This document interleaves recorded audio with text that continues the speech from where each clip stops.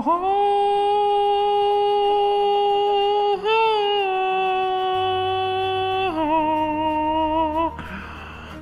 dun dun. It's time.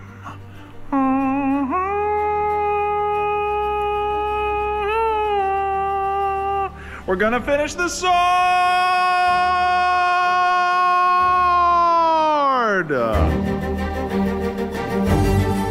Right, so we're making the scabbard for the Witcher sword. We're gonna wrap this project up. Get it donezo. I'm done with it. You know what I'm saying? Finito. Get it out of here. We're gonna make a pretty sick looking scabbard and then we're gonna put an edge on it. We're gonna take it outside and we're gonna put it to work, you know what I'm saying? So for this project, I have made scabbards out of wood and I made them out of leather and then I made them out of a combination of both. Today, this is entirely out of leather. It's a little bit in my wheelhouse, but I'm gonna be doing some things uh, I've never done before, so bear with me if they suck. The plan is to take this heavy gauge leather, make a simple sandwich sheath, you know, two pieces of bread, got a little mustard sword in the middle. Then I'm going to sand that down. That's gonna be our base. It's gonna be glued. Probably not gonna bother stitching it because what I'm gonna do is take some really lightweight, supple leather. I'm gonna stick it in the laser engraver. I'm gonna etch a pattern onto the leather with the laser.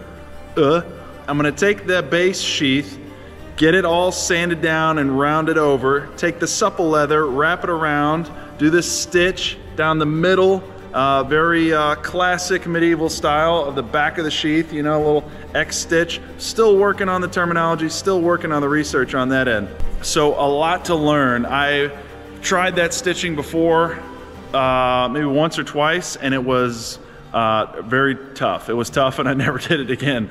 So now coming back at it, the supple leather is engraved with, I'm gonna just find some kind of pattern uh, that looks pretty fantastical engrave that on there, uh, put wrap the main sheath, stitch it so we have this nice leather sheath. I want it kind of supple, I didn't want it like a wood core.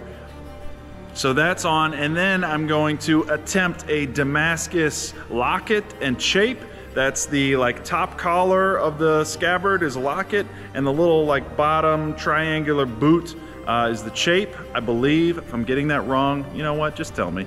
So I'm going to be making those two pieces out of Damascus. That's going to be quite tough um, because though the best way I can think to do it, I don't really have tools to get such like a deep, make it all in one piece. You know, you almost need um, like a big die to like set that thing.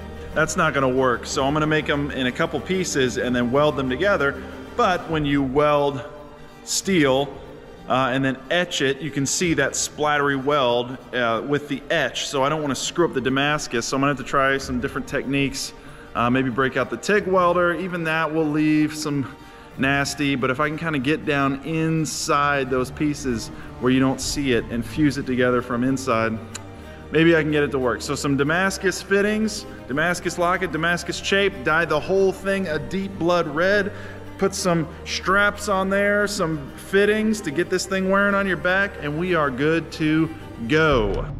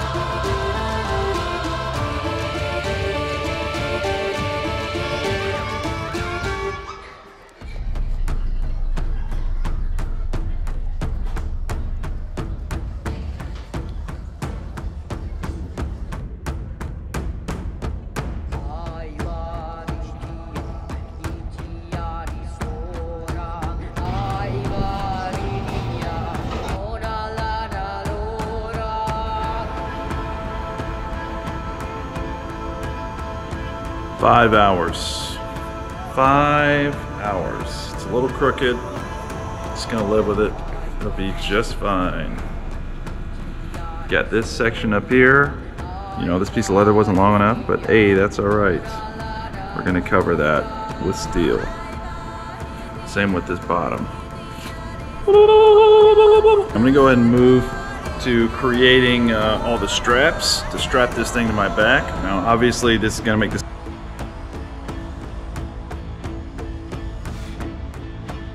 These are basically based off a video game, so realism kind of going uh, out the window a little bit, shall we say. So for this, uh, but to get it on my back, you need uh, multiple straps. If you just have like the one, like a satchel strap, that's a no-go because what's gonna happen is you have all this weight up here in the handle and it's just gonna start to like slide and wanna lay almost sideways down your back. So a lot of people don't realize you need a nice strap across or like multiple straps across. I'm just gonna do the one, but then you also need a second point, like a belt, uh, to hold it on down uh, on your waist, much like a belt. So I'm gonna take my sheath, I'm gonna cut out some thin straps that are about this big, fit these small belt buckles. I'm gonna do, they'll just be kind of wrapped on. I kind of like that look of a messy wrap. I'll have the buckle, and then I'll have some uh, I got some rings that I bought that'll fit like around in the buckle, in the buckle through them. So you have this ring, uh, and then you have another ring or a clip that'll do your strap. Same down here, wrap, ring, couple rings. That's your pivot point, boom, for your down here and you're up here. You get the idea. I gotta make some more leather.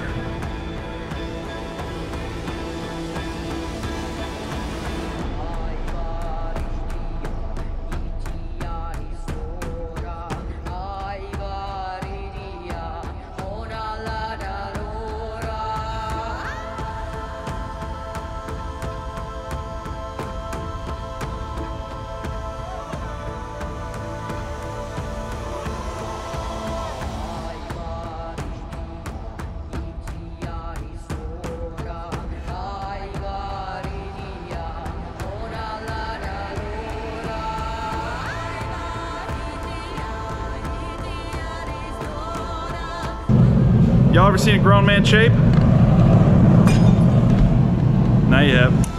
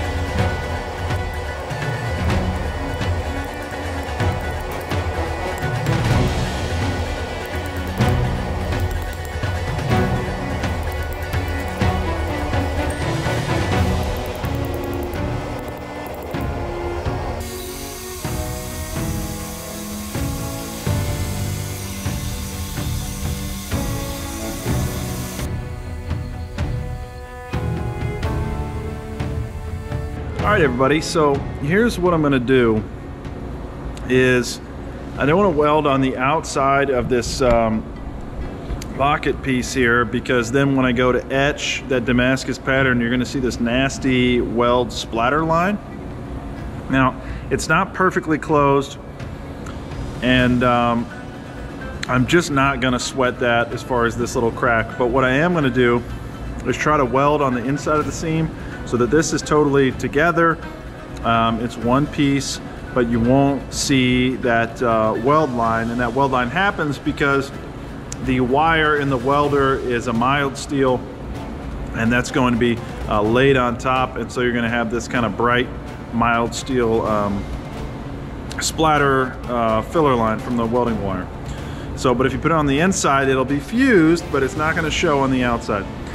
Once the cap is on, I'm gonna cut, use a Dremel to uh, cut in the slot for the sword to slide through. And then I'm going to uh, get in there and just clean everything up as best I can. Clean up all the forge scale as best I can on the inside, get in there with a Dremel and some different tools, some files. And then what I need to do is cut uh, the leather on the sheath and this should fit the inner core pretty, pretty darn perfect. The locket's turning out to be much easier so far uh, than the chape. I actually thought the chape was gonna be uh, the easier piece to make, but making that kind of domed triangle on both sides precisely is kind of a pain in the, the tuchus. So now, I'm just gonna focus on the locket and uh, we'll get to that chape, don't you worry.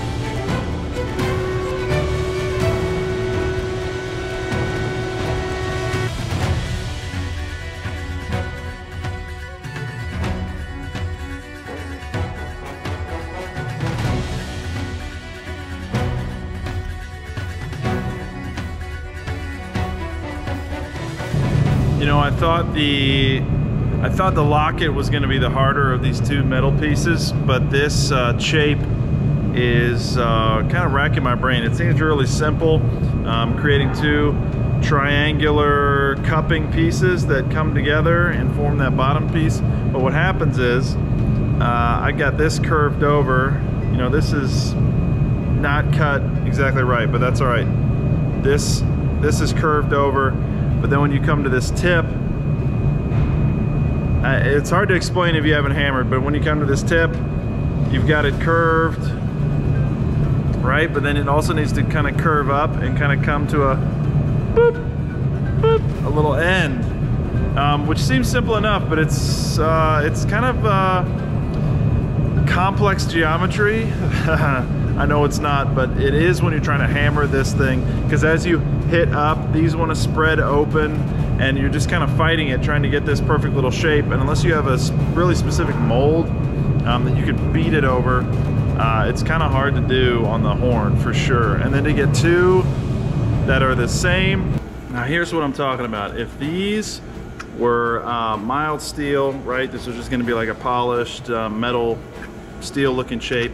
Um, I would weld up this on the outside. I'd fill up any little gaps. You'd see um, maybe hit those welds down with a hammer a little bit, blend it all in with a grinder, clean it all up. Boom, you'd never see it, but I cannot do that uh, with this Damascus steel. Once again, it will leave a nasty uh, weld splatter line.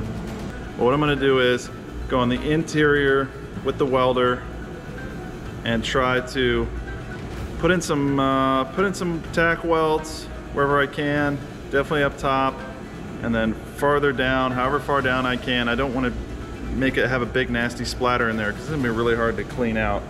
So if I get it uh, pretty held together with welds what I'm gonna do is put it back in the forge and then I'm gonna hit here along these edges and drive those kind of into each other and cinch those up nicely and then I'm gonna smack it right here on the flats and get it uh, more like wide and narrow because that's what it needs to to fit.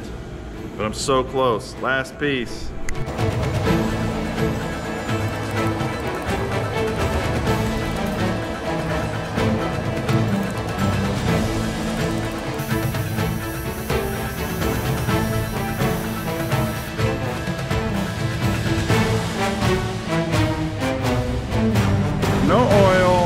Resists to the acid. And let's uh, go in.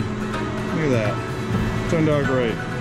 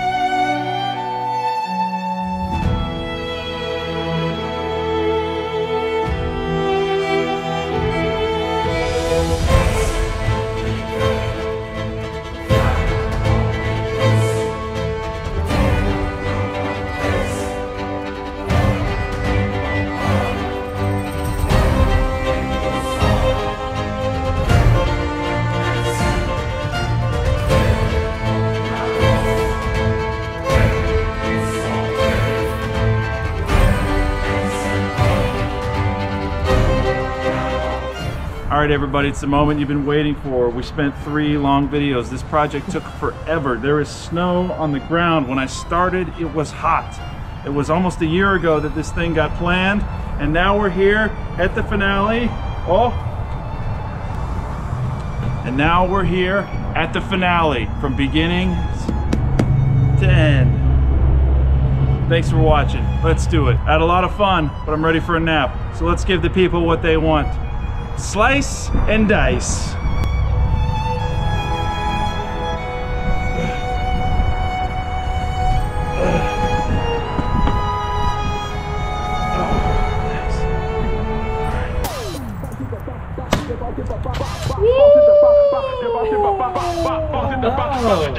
Fresh.